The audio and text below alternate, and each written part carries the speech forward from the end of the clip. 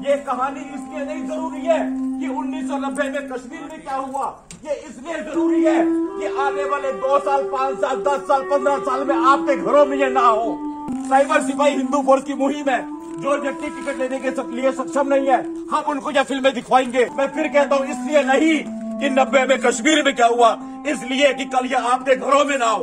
और अपने मतदान का प्रयोग कीजिए हर चुनावों में। जो भी आपके राज्य के चुनाव हो, आने वाले केंद्र के चुनाव हो।